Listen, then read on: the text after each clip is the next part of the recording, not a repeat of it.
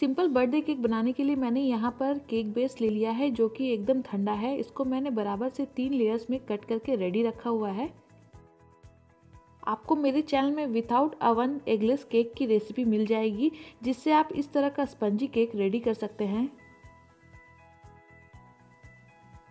अब turn table के ऊपर हम इस तरह डबल टेप को स्टिक कर देंगे और इसके ऊपर केक बोर्ड को फिक्स कर देंगे।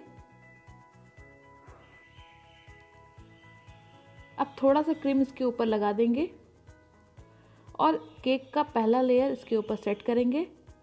इसके ऊपर शुगर सिरप स्प्रे करेंगे। शुगर सिरप की भी रेसिपी मेरे चैनल में है, आपको लिंक डिस्क्रिप्शन बॉक्स में मिल जाएगा।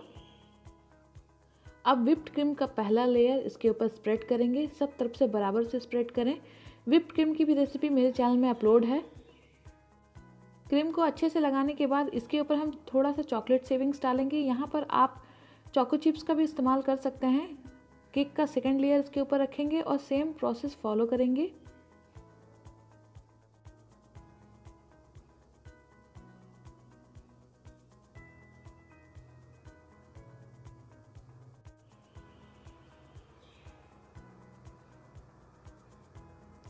थर्ड लेयर रखेंगे।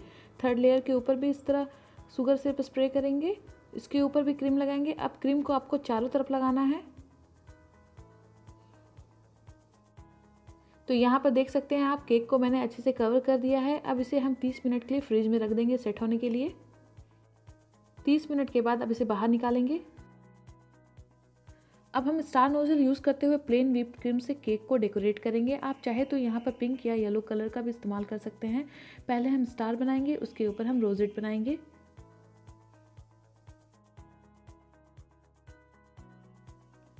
तो ये आप देख सकते हैं, मैंने सत्तर बना दिया है, अब इसके ऊपर भी हम बनाएँगे।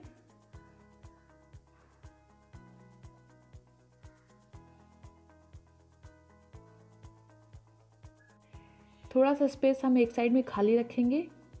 अब यहाँ पर मैंने लीफ नोज़ल यूज़ किया है और ग्रीन कलर को विप क्रीम में मिक्स कर दिया है। अब इससे हम लीफ बनाएँगे।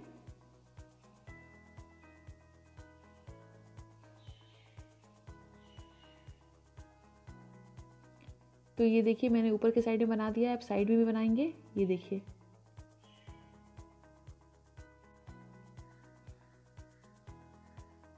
अब हम थोड़ा सा सिल्वर बॉल्स इसके ऊपर लगा देंगे।